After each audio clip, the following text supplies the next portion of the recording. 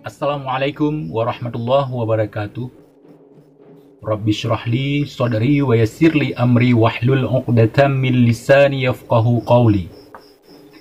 Sahabat TIJ di mana pun kalian berada, semoga kalian semua selalu dalam lindungan Allah Subhanahu wa Ta'ala.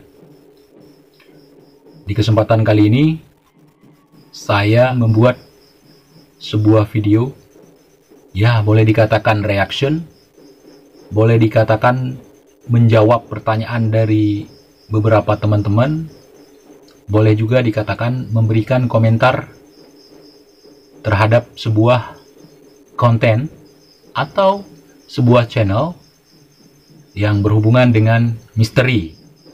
Atau boleh dikatakan yang berhubungan dengan mistik. Ada banyak sekali teman-teman yang mempertanyakan kepada saya melalui kolom komentar saya. Ada dalam bentuk pertanyaan yang wajar, ada yang dalam bentuk pertanyaan menghasut, ada yang dalam bentuk bertanya memang karena tidak tahu. Jadi di sini saya menjawab, tentu saya juga punya hak atau berhak untuk memberikan tanggapan. Kenapa? Karena sesuatu yang dipublish melalui video atau foto atau audio itu memiliki hak sepenuhnya kepada yang menonton, yang mendengar atau yang melihat. Itu merupakan hak kepada kita semua karena itu sudah menjadi konsumsi publish. Oke, teman-teman ya.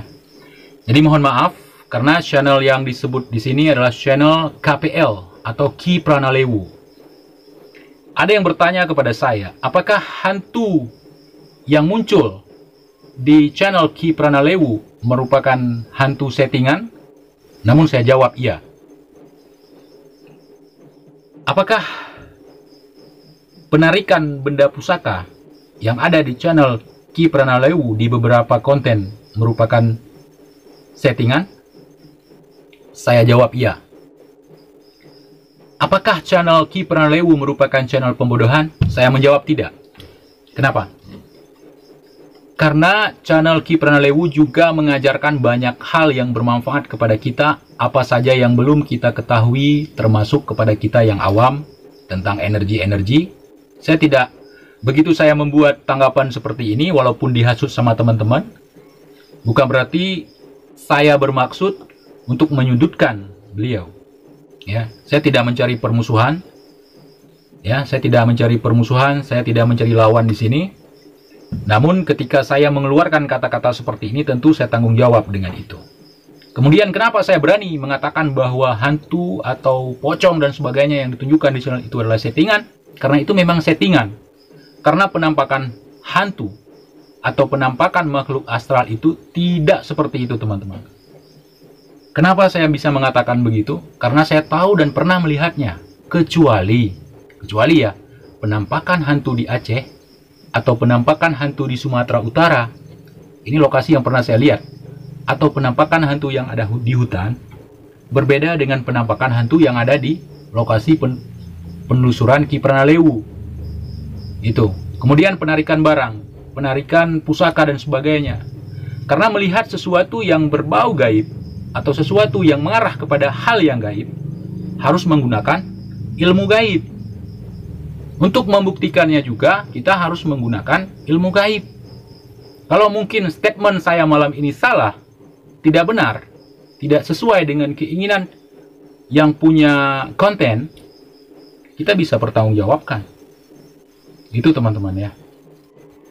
Saya ulangi lagi, sesuatu yang dipublish, sesuatu yang sudah menjadi konsumsi publish, itu berhak untuk kita memberikan komentar. Kecuali saya mendatangi rumah beliau. Saya masuk lewat jendela, kemudian saya ambil handphone atau TV beliau. Itu saya paksa untuk melihat sesuatu di situ. Mungkin itu tidak benar karena itu areal privacy. Ini sudah menjadi konsumen apa eh, konsumsi publik ya. Konsumsi publik yang sudah dipublish sehingga kita punya eh, punya hak untuk memberikan tanggapan atau reaction dalam bahasa umum sekarang. Jadi seperti itu teman-teman ya. Jadi penampakan hantu itu Tidak seperti itu. Kemudian masalah aura segala macam, ada beberapa yang memang tidak ada, diada-adakan. Kenapa saya tidak berani mengklaim bahwa itu adalah sebuah pembodohan? Karena kita tahu basic Ki Pranalewu ini siapa. Beliau adalah entertainer. Beliau adalah orang atau aktor yang uh, berkecimpung di dunia hiburan. Sudah melanglang buana baik di TV, kemudian sekarang di YouTube. Saya melihatnya di YouTube dan sebelumnya saya melihat di TV. Saya tidak pungkiri itu. Saya belum bertemu langsung. Saya hanya melihat dan berkomentar sebatas apa yang saya ketahui dan sebatas dari mana saya melihat. Jangan salah-salah teman-teman ya. Ini bukan tuduhan, ini bukan menuduh, ini berkomentar. Memberikan komentar, memberikan reaksi. Saya rasa teman-teman yang YouTuber sudah paham tentang ini. Kecuali kalau memang sengaja ingin membenturkan, sengaja ingin mencari kesalahan, itu lain cerita. Namun kalau ada yang bertanya, apakah saya ini bermaksud untuk menghina, menyudutkan, atau mencari kesalahan orang lain? Tidak. Kan tidak salah kalau seseorang pelaku entertainer ya yang berkecimpung di dunia hiburan membuat hiburan-hiburan kepada masyarakat tidak salah. Itu bukan pembodohan. Namun kalau membawa-bawa nama agama di situ, bawa-bawa nama Allah di situ, meyakinkan orang tentang sebuah kebohongan, itu pembodohan. Tentunya ilmu dan pemahaman kita berbeda-beda teman-teman. Dan yang saya katakan malam ini adalah menurut ilmu dan pemahaman saya dan penilaian saya. Mohon maaf Ki Pranalewu, jangan tersinggung. Ini bukan mencari musuh, bukan membuat permusuhan. Karena ini adalah hak daripada saya juga sebagai penikmat sosial media. Karena saya lihat kemudian ada teman-teman dari saudara Ki Pranalewu yang masuk ke channel saya memberikan komentar tentang hal itu. Makanya saya sekarang menjawab pertanyaan mereka. Kalau misalnya ini dianggap sebagai masalah, bagi saya juga tidak bermasalah. Ini tulus saya menjawab malam ini ya.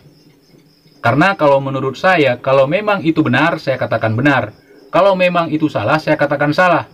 Kebenaran itu tidak ada versinya. Benar tetap benar, salah tetap salah. Kalau memang Anda ingin membuat sebuah pembelaan bahwa yang saya katakan tentang hantu settingan itu tidak benar, itu hantu sebenarnya, tentu itu hak Anda. Itu itu teman-teman ya. Namun ketika Anda membuat klarifikasi mungkin nanti kalau memang uh, apa mau membuatnya, tentu harus berdasarkan bukti. Harus menunjukkan bukti-bukti bahwa itu hantu yang asli. Karena seperti saya katakan tadi, bahwa untuk melihat barang-barang atau makhluk-makhluk yang astral itu atau makhluk yang gaib itu kita juga harus menggunakan ilmu. Ilmu gaib. Seperti itu. Penglihatan gaib. Pemahaman tentang gaib. Dan menurut pemahaman saya menurut ilmu saya memang seperti yang saya katakan barusan.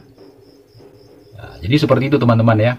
Jadi saya harus berhati-hati dalam mengeluarkan kata-kata supaya tidak ada teman-teman nanti yang menganggap bahwa ini merupakan provokasi atau mengajak bermusuhan seperti itu.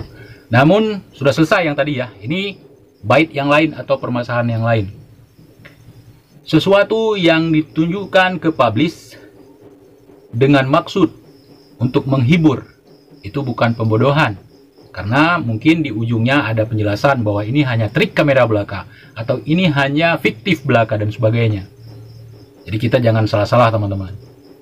Namun kalau memang itu meyakinkan ini asli segala macam, itu baru masuk ke pembodohan. Jadi yang saya simak, tentu itu bukan asli, ya bukan asli hantu, bukan asli penarikan untuk barang-barang pusaka. Kemudian untuk uh, hal ini saya tidak memutuskan bahwa ini 100% pembodohan. Tidak. Bukan pembodohan. Kenapa? Karena memang ini sebagai hiburan. Tidak masalah kalau kita menghibur rakyat Indonesia dan segala macam, tidak masalah. Tapi yang bermasalah itu kalau kita membodohi masyarakat kita. Mohon dipahami. Terima kasih banyak. Semoga bermanfaat bagi teman-teman dan semoga teman-teman yang bertanya puas dengan jawaban saya dan mohon maaf kepada yang bersangkutan. Wassalamualaikum warahmatullahi wabarakatuh.